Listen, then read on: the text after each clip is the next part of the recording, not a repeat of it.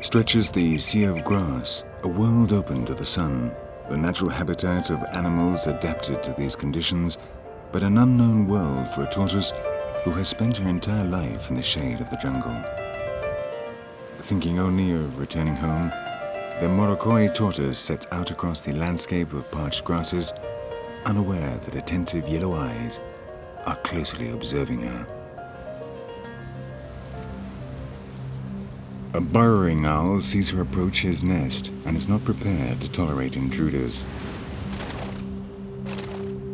Under the ground in a pleasant, cool tunnel, his chick is hidden, and the owl plucks up his courage and tries to scare off the armored stranger.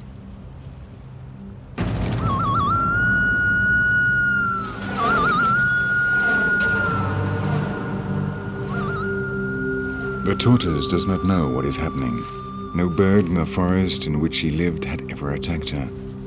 There, they all know that the Morrocoys are inoffensive. But this is the open plain, and here any animal is a potential enemy.